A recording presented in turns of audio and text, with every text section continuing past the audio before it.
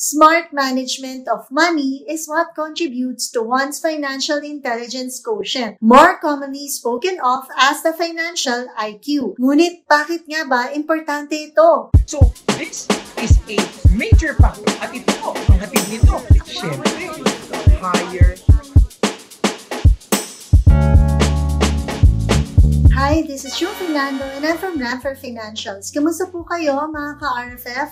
I hope everyone's keeping safe and well. Sa araw po na ito, pag-uusapan natin ng isa sa mga very interesting topics on personal finance and that is about financial IQ. Ang pagmamanage ng pera sa tamang pamamaraan ay hindi po madali. Money doesn't come by all that easily. Maliban na lang kung ikaw ay nakakatanggap ng mga di mo inaasahang mana or nanalo ka ng malaking halaga sa loto. Smart management of money is what contributes to one's financial intelligence quotient, more commonly spoken of as the financial IQ. With the help of our sources from Paysens and Gandhi, alamin muna natin ano nga ba ang ibig sabihin ng financial IQ. It refers to the ability to make one's money grow by spending wisely, saving, and investing right. Ito ay isang konsepto na ipinakilala sa atin ng very popular at best-selling author na si Mr. Robert Kiyosaki. Financial financial intelligence is all about using information, one's wisdom, to make the right choices in managing money. Ngunit bakit nga ba importante ito? Ang pagkakaroon po ng mataas na financial IQ ay makakapagbigay ng mga magagandang benepisyo sa atin. While everyone has some basic idea about their finances at kung paano ito i-manage, hindi po kasi lahat ay successful in ensuring that they are great at not just making money, but also saving and multiplying it. At dito po nagiging importante ang financial IQ. So, ano-ano nga ba ang limang mga magagandang habits to improve this? Number one, focusing on savings. Ang pagsisave is one of the, if not the most excellent habits ng mga tao na may mataas na financial IQ. Gaano man po kalaki or gaano rin po kaliit ang kinikita mo, make it a habit to put aside and set aside part of your earnings every month in the form of savings. As a rule of thumb, if you want to build wealth the right way, kailangan nyo pong mag-save ng at least 10 to 20% of your monthly income. Having savings is important at every stage of your life because it also helps you create a fund for your emergencies. And so,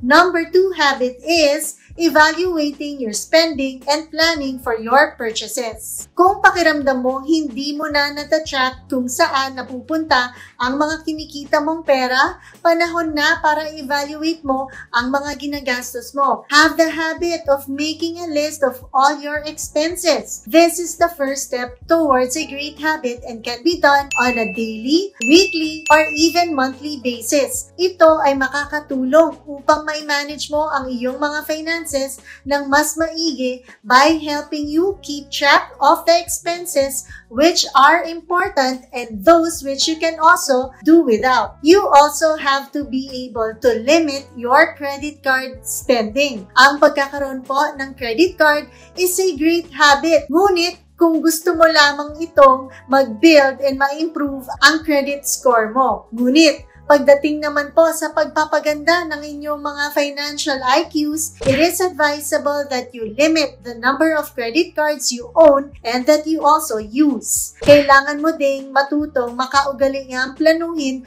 ang inyong mga pinagbibili. Ang bawat isa po sa atin ay may mga wish list ng gusto nating mga bilhin kung saan ang ilan po dito ay mas mahal pa nga po kumpira sa kaya naman talaga nating ma-afford. Ang bago pong kotse, ang mga mga magagandang alahas o ang mga pinakabagong gadgets. While you might want to make these purchases immediately, isa pong malaking sign ang pagkakaroon ng mataas na financial IQ is planning your purchases and making them after saving up enough money. Make it a habit to keep from impulse buying at pag may gusto kang isang bagay na wala pa sa budget mo, pag-ipunan mo muna ito and then buy it without affecting your financial health. Ika nga, practice delayed gratification. And so, number three is investing. Ang pag-iipon ng pera ay magandang kaugalian pero kung gusto mong palaguin ito, kailangan mo ring matutong i-invest ito and make it a habit to cultivate. There are so many ways, there are so many numerous options to invest your money such as investing in actively managed funds like mutual funds, unit investment trust funds, direct stocks, real estate, businesses at marami pa pong iba. Number four is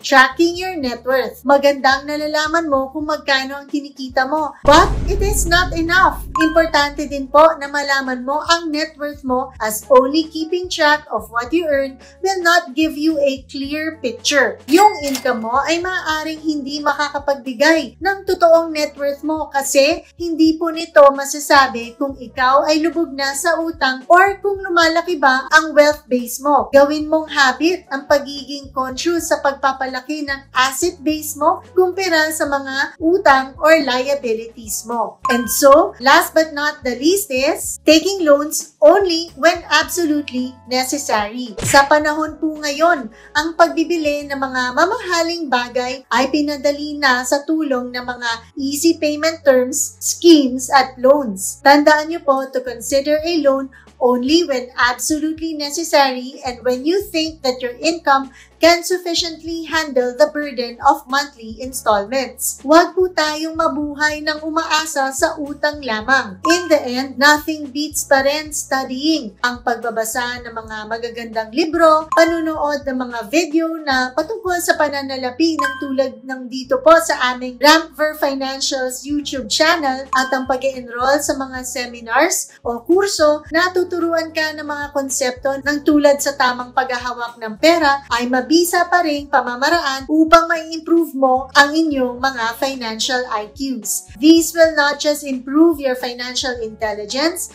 but can also clarify many commonly faced doubts by people concerning personal finance. And so I hope you've learned something new today. If you think you have friends or relatives who might be interested of these contents, we hope you can share this video with them. And for those who haven't yet po, please do subscribe to our official YouTube channel Raffle Financials and tap the bell button for our future video uploads.